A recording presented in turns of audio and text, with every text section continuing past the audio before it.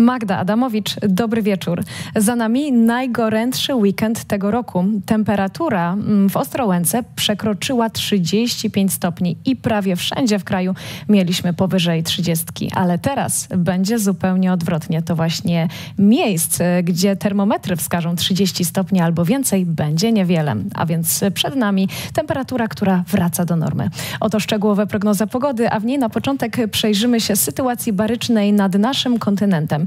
Pogodą w Polsce jeszcze teraz steruje układ baryczny niskiego ciśnienia, który swoje centrum ma nad Morzem Norweskim.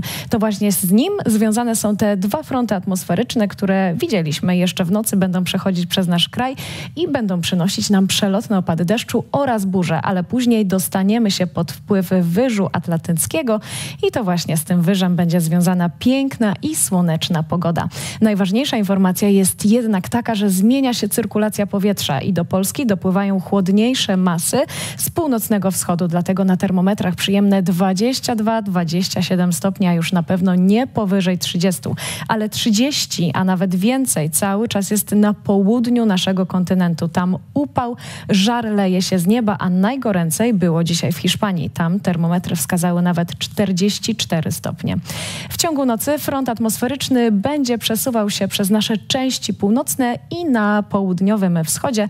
Tam również mogą wystąpić przelotne opady deszczu oraz burze. W pozostałych regionach pogodnie i bez opadów, ale noc będzie jeszcze ciepła na termometrach od 13 stopni w Szczecinie przez 16 stopni w Łodzi, a najcieplej tej nocy będzie w Rzeszowie. Tam noc niemal tropikalna, 19 stopni. W ciągu dnia jedynie nad ranem na krańcach e, północno-wschodnich pojawią się przelotne opady deszczu, a także burze, a później w całym kraju będzie pięknie i słonecznie. No i co najważniejsze, już nie tak gorąco. Na termometrach od 22 stopni w Suwałkach, przez 25 stopni w centrum, a najcieplej tym razem w Krakowie. Tutaj termometry wskażą 27 stopni. Wiatr będzie słaby i umiarkowany, choć okresami powieje mocniej, a ciśnienie idzie w górę. Na barometrach w Warszawie 1004 hektopaskale. Jeszcze środa zapowiada się pięknie, wyżowo i słonecznie, choć przelotne opady deszczu możliwe na północnym zachodzie. Na termometrach w środę od 21 do 29 stopni, a w czwartek od 20 do 26, ale tutaj przelotne opady deszczu mogą zdarzyć się wszędzie. To dobra informacja, bo ten deszcz w Polsce jest bardzo potrzebny.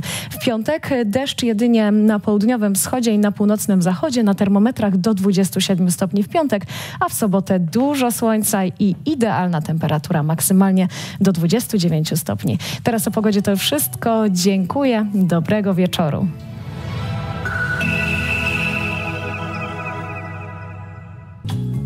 Magda Adamowicz, dobry wieczór. Przed nami burzowa noc już teraz grzmi w województwie lubelskim, podlaskim, ale także na Pomorzu Gdańskim i na Pomorzu Zachodnim. Także uważajmy, podczas burz spadnie nawet do 20-30 litrów wody na metr kwadratowy. A w ciągu nocy może zagrzmieć w częściach północnych oraz na południowym wschodzie. W pozostałych regionach bez opadów i bez burz, a na termometrach jeszcze wciąż ciepło od 13 stopni w Szczecinie przez 16 stopni w centrum, a najcieplej, bo to będzie prawie tropikalna noc w Rzeszowie, tam 19 stopni.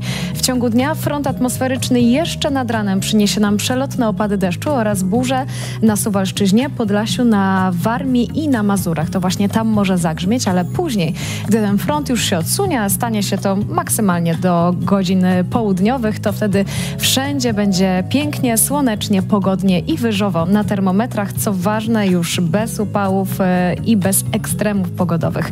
Od 22 stopni w Suwałkach przez 24 stopnie w Bydgoszczy, 25 wskażą termometry w Łodzi, w Warszawie i w Poznaniu, a najcieplejszy Kraków, tutaj 27 stopni. Zerknijmy jeszcze